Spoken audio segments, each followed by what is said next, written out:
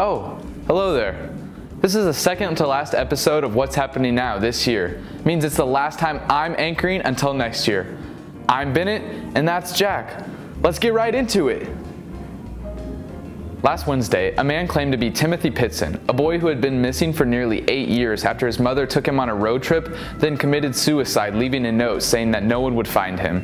The man was identified as Brian Rini, who now faces up to eight years in prison for making false statements to a federal agent. And last week, the Ukrainian an event reminiscent of Y2K occurred last Saturday when the satellites that orbit the Earth ran out of storage. The system on the satellites was designed in 1980 and kept track of time in weeks, but was only given enough storage to keep track of 1,024 weeks. The count ended this year, setting it back to zero. However, the Air Force had been planning for the rollover for over two years, and just like Y2K, everything turned out alright.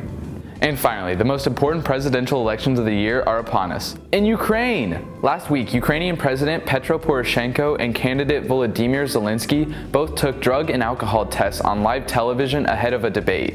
In the first round of voting, Zelensky, who much like President Trump has no political background, took the lead with 31% of the votes. The second round of voting occurs on the 21st of April. And that's all we have for this week's episode of What's Happening Now. Tune in on May 9th for the very last episode of the year with Jack. Peace.